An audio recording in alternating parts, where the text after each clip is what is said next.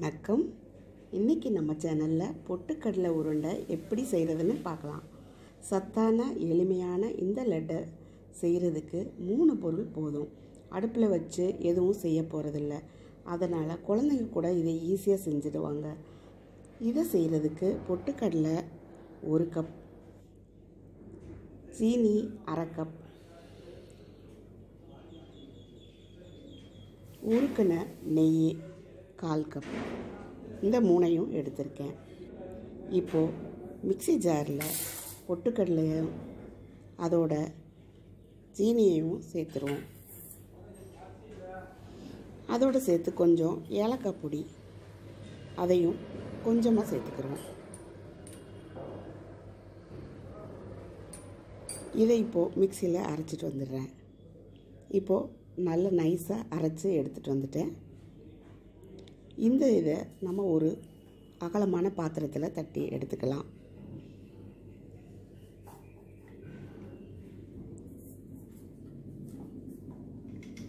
எல்லா மாவையும் இந்த கிண்ணத்தில் சே போட்டு உருக்கின நெய்யை கொஞ்சமாக எடுத்து அதில் கொஞ்சம் கொஞ்சமாக ஊற்றி மிக்ஸ் பண்ணிக்கலாம்.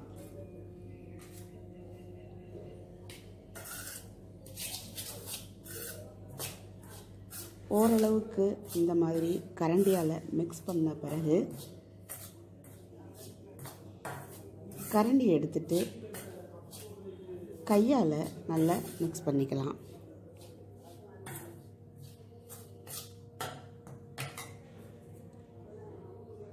தேவையான அளவு நெய்யை சேர்த்து மாவை நல்லா ஒன்றா கலந்து விட்டுக்கலாம்.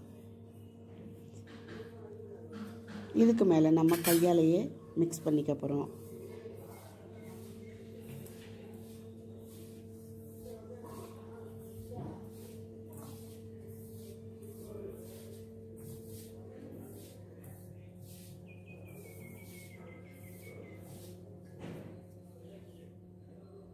உங்களுக்கு கையால் இதை மிக்ஸ் பண்ணும்போதே நெய் எந்த அளவுக்கு தேவைப்படும் அப்படிங்கிறது நமக்கு கையில் பிடிக்கும்போதே தெரியும். இந்த அளவு நல்லா பிடிக்க வந்ததும் உருண்டை பண்ண ஆரம்பிச்சிடலாம்.